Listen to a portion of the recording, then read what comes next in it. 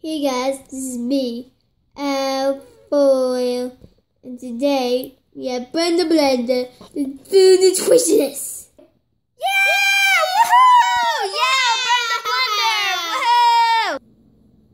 Today we're going to learn how to make a healthy muffin. Take it away, Brenda.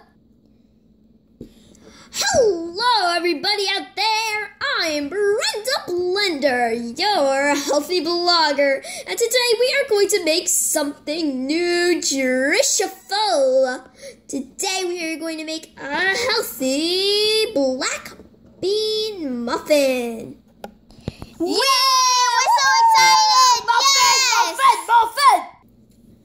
We'll also be showing you how to make a fruit tart. Yeah! Fruit tart, fruit tart! My muscles are heavy. Before we start, I can tell you a few things about Brenda Blender. She's been cooking ever since she was in daycare. Ding. Her birthday present was coffee creamer. A great recipe that can be added to any single cookie recipe. She's won over a million, million, million cut. No, she has over a million, million, million bloggers. That's what she calls her followers. The first meal that she made was a Danish. Take away, Brenda. Okay, everyone, so according to my blog, I have the healthiest foods out there. So below me are some ingredients you will need. You'll need an apple, an orange, and a pineapple. And to all my nutritional recipes, I always try to add a little bit of coffee creamer. It'll wake you right up and start your day right. Whoa! Hiya, guys! Take all your ingredients and put them in a big bowl. If you don't have an epic blender like me, then you can just shake it up, but I'm gonna pour them all in my blender.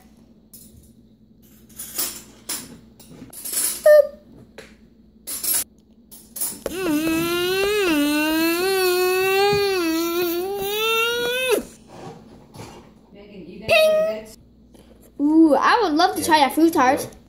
Bing! Mhm. Yeah! Be honest, rated 1 to 10. It's gotta be 10, everybody. A four. Are you kidding me? What did you just say? Don't worry, I was just joking. It's a ton hundred. Next, she'll make a delicious frozen yogurt. Thanks for the intro, Al. Today I'm going to be making some frozen yogurt using ingredients you can find in your freezer. You'll be needing some milk, yogurt, and ice cream. Whee! Put all these ingredients in a big mixing bowl. Boop. Boop. If it helps, add it all to a blender. Woo! Who did? Now it's time to shake it up. Beep. Phew, that was a lot of shaking. Whoa! I created an earthquake. Oh my glitter. Jeez Louise. and there you had it.